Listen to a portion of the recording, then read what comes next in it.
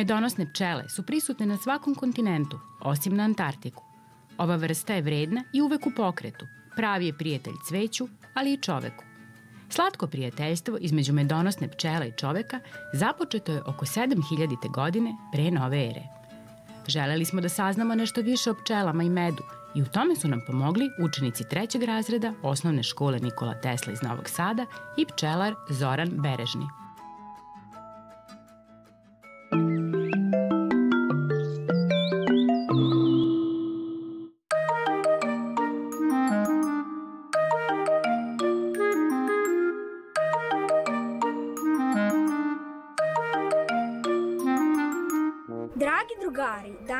Ćemo se lepo zabaviti. Pričat ćemo o medu i pčelama. Hteo bi da vas podsjetim da smo i mi pčelice. Znate li kako? Sećate li se? Reci ti, Stefane.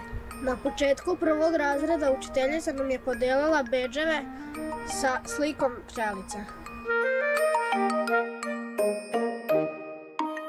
Dragi drugari, a, moje ime je Zoran Berežni.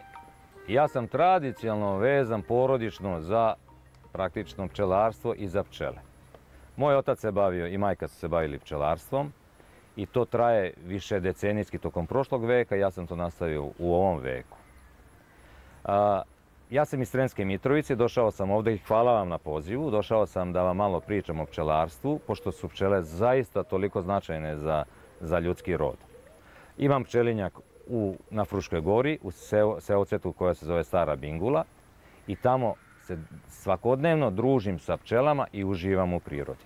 Vama hvala na pozivu što ste me pozvali i što se interesujete za pčelarstvo i bar se nadam da će neko bar od vas jednog dana biti toliki ljubitelj prirode da dođe i da kaže ja želim da budem pčelar. Ako vam bude trebala pomoć takve vrste, slobodno mi se javite.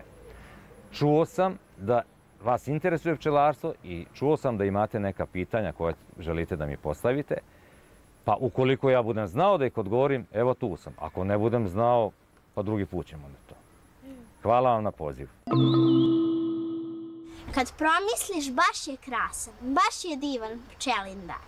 Eno vosak voštanica prinosi se na oltar. A od meda ništa slađe, zdrava hrana pa i lek. Koga, koga kusa umereno produžuje sebi vek. Ali ja mogu skinut suma i taj vosak, i taj med, i taj pčelin nauk blista u dve reči rad i rep. Kako pčele prave med? Pčele žive u zajednicama, u kolonijama od desetine hiljada njih. Znači od 15.000 do 80.000 su te kolonije ili rojevi pčela. U svakoj košnici, u svakoj koloniji se zna ko šta radi. Između ostalog, od pčele kako se izlegu, pa sve do, do, do kraja svog života imaju određene poslove ko, koje moraju da rade. Znači, počevši od čišćenja košnice, higijene u košnici, hranjenja larvi, hranjenja mlađih larvi, zatim preuzimanja nektara iz prirode koji se stavlja u saće u košnicama, pa onda kad budu stražarice na ulazu u košnicu i to su one pčelice koje kažete ko će da ubodu, one su na ulazu u košnicu i ne puštaju druge pčele ili druge predatore da uđu i da im otnu taj njihov med i zatim idu u samu prirodu da skupljaju nektar da bi se od toga pravio med. Znači, pčela kada sazna da ima negde neko cvetna livada, cvetno polje, puno cveća sa koga može da se skuplja polen i nektar, one preko svojih pčela izviđačica dobijaju tu informaciju i masovno kreću da prikupljaju nektar sa tog polja. Kada dođu na cvet, oni skupljaju nektar, skupljaju polen i to u svom želucu. I oni, pčele imaju dva želuca. Jedan želudac je za nošenje meda, a drugi želudac je za, za prehranu. I u svom želucu, medonosnom želucu, prenose taj nektar do svoje košnice, ulaze u košnicu, druga pčelica, mlada pčelica, prihvata, prihvata taj nektar i onda uh, taj nektar smešta u pčelinje saće. U pčelinje saće stavlja taj nektar i tu se polako nektar isušuje. Znači, da bi dobio gustinu i da bi procjena šećera u samom, samom medu porastao. Kada med u potpunosti sazri u košnici, znači, a sazreva na takav način da praktično pčele lepršajući svojim krilima isušuju, stvaraju promaju u košnici i isušuju vazduh, isušuju vlagu iz, iz meda, one praktično kada se med konzervira, kada, kada med sazri, one ga polako sa voskovim kristalima prevlače i zatvaraju te, te ćelije. Evo ja sam i doneo otprilike da vam i pokažem nešto. Znači što se tiče, ovo je taj, taj jedan ram ili jedna osnova, satna osnova iz košnice. Znači samo sam je dono bez pčela, nemojte da donesem pčele pa da, da neko bude alergičan. Evo vidite, ovi ovdje poklopčići, e tu je unutra med. E to kad se zatvori znači da je med konzervisan, da je med u principu spreman za upotrebu. I med kao takav može da traje hiljadama godina. Znači, e, med je e, hrana koja ima neograničenu upotrebu trajanja. Nakon toga, kada je konzervisan ovaj med, taj med je napravljen i pčelice su završile svoj posao i tek onda e, kasnije, kada bude bilo potrebe, kada ne bude u, prirodi neke, neke pčelinje paše, oni će taj med da jedu i da koriste. Eto, to je način kako jedna pčelica proizvodi med.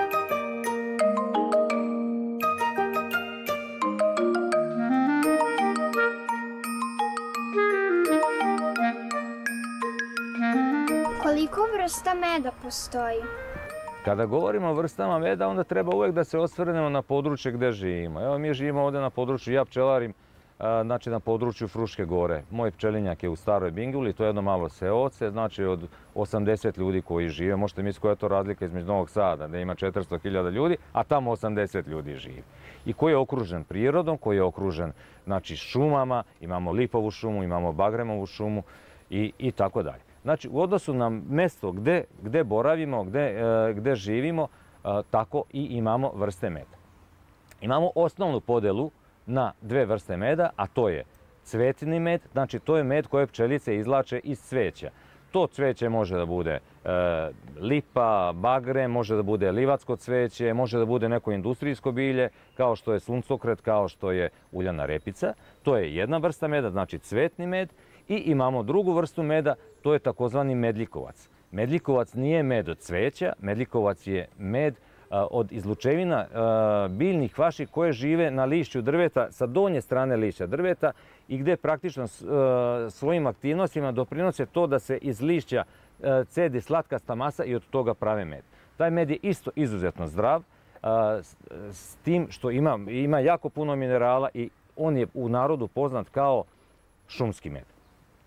Imamo još jednu podelu e, cvetnih medova, to je podjela cvetnih medova na monoflorne i poliflorne medove. Monoflorne medovi su, e, su medovi isključivo od jedne vrste. Tu spada med od bagrema, tu spada med od lipe, tu spada med od e, uljane repice, med od suncokreta. A poliforni medovi su medovi gdje su pčelice, kada nema neke intenzivne paše, da, ih navodi da ide samo na, nju, to su medovi od puno vrsta cveća, to vam je takozvani livatski med.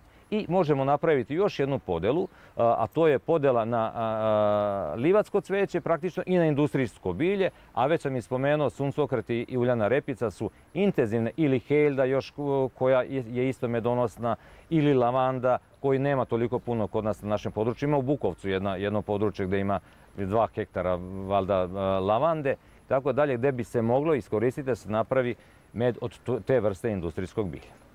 Šta je posao pčelara? Posao pčelara je da pazi i neguje pčele.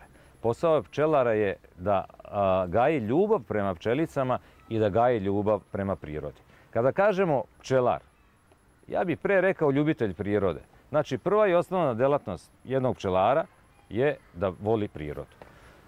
A kada kažemo koje su poslovi oko pčelinjaka, e u tom slučaju znači imamo situacije gdje zaista pčelar treba da vodi računa o broju rojeva, o broju košnica sa kojima raspolaže, da kada dođu neki teški trenuci za pčelinje zajednice, eventualno da nema hrane, da im spremi neku, neku brzu hranu, recimo da napravi e, medne pogače pa da im da, da ih pripremi za zimski period, ako je prira, priroda bila u toku godine e, neadekvatna za život i za prikupljanje pčela meda.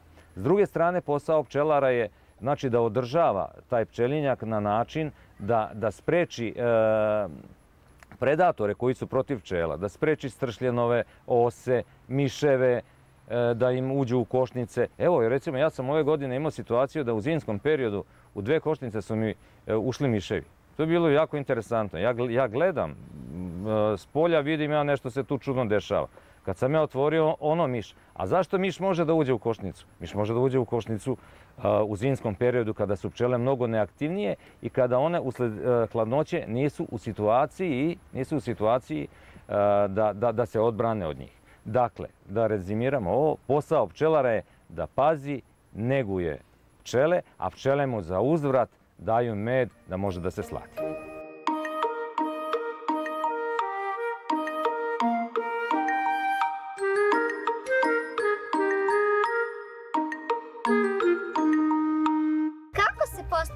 Pčelar? Različiti su načini kako se postaje pčelar. moje razmišljanje u tom pracu je da pčelar treba da postane iz ljubavi. Ja sam postao iz ljubavi iz jednog prostog razloga što je moj otac se dugi niz decenija bavio pčelarstvom i onda sam ja to nasledio, taj njegov hobi, ljubav i posao. A ljudi na različite načine postaju pčelari. Neko misli sada da će da bude pčelar i da će samo da vadi med, pa iz nekog interesnog razloga. Ali to obično budu jako kratko, kratko vreme pčelari. Pčelari treba da vole pčele i da vodu prirodu.